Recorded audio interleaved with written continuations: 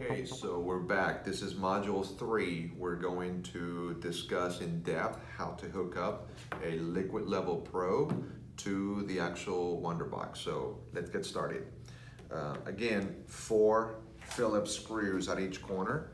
I've already done all of them just for the uh, sake of time.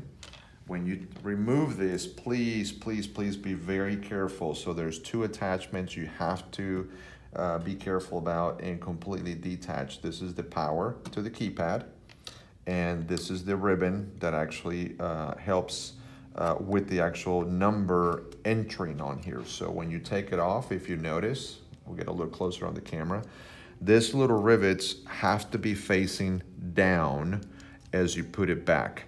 If you do it the other way, like this, you're gonna have some problems on the keypad. Some of the numbers may not work properly. So once you hook up and undo these two items, please take this and put it aside. All right, let's get started. As you notice, you'll see, you're seeing on my desk a blue cable for liquid level probes. This symbolizes that this is an explosion proof uh, probe. We also have them in non-explosion proof. The non-explosion proof version of it is black. So blue is explosion proof, black is non-explosion proof. So where do we take these wires? At the end of this run, you'll, you'll, you'll be working with two wires. You'll be working with a green wire and you'll be working with a brown wire. Now, let's think about this.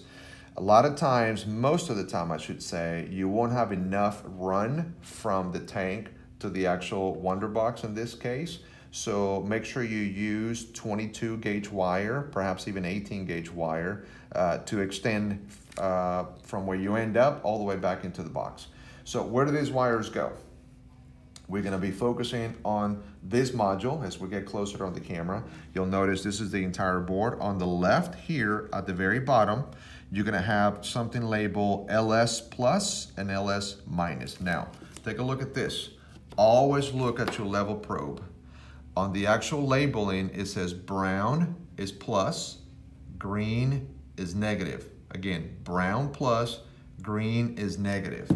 So that means that we're going to take your brown wire and we're going to put it into the plus brown position, which is the second one from the bottom one.